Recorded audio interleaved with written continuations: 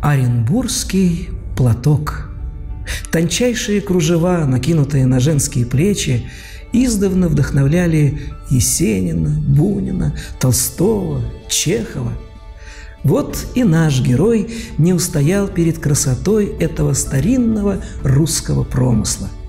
Десять лет назад Юрий Эдуардович задался целью сохранить и приумножить наследие оренбургских искусниц – Традиционно оренбургский пуховый платок – это изделие, о котором э, передают из поколения в поколение те особенные свойства, рисунки, схемы, которые должна обладать искусная вязальщица.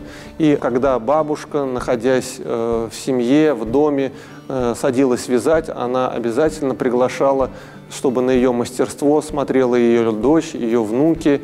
И так мы сегодня сумели сохранить те уникальные рисунки, те уникальные э, моменты, по которым и сегодня наши оренбургские пуховницы имеют возможность создавать оренбургские пуховые платки.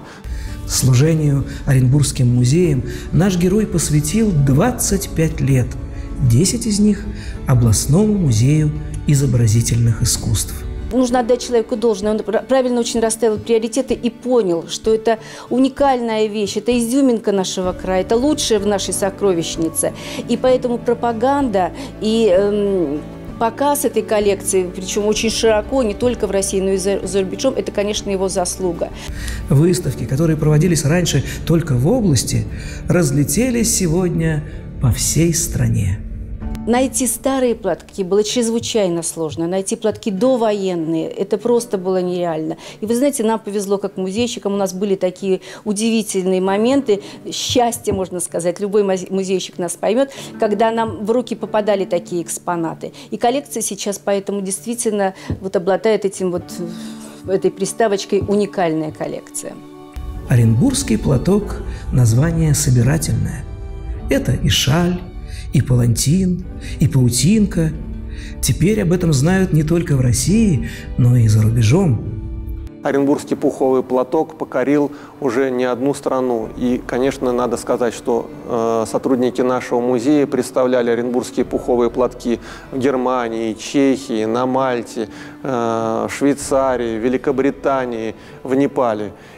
Но мало традицию сохранить, донести до ныне живущих, продолжить это дело. Вот главная задача. И у нашего героя это получается.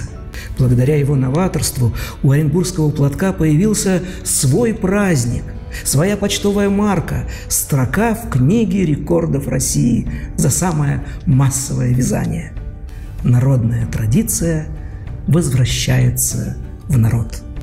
И вот у Юрия Дальше, мне кажется, есть это ясное понимание. Хороший – надо хранить. Но надо, так сказать, насытить и музей какой-то активной, вот такой оживленной деятельностью. Надо найти какие-то новые формы привлечения сюда детей прежде всего. Потому что ребенок, он должен расти в понимании того большого, могучего, что искусство несет с собой. Пуховой нитью нашему герою удалось связать прошлое и настоящее, сохранить для будущих поколений наследие Оренбургской 经历。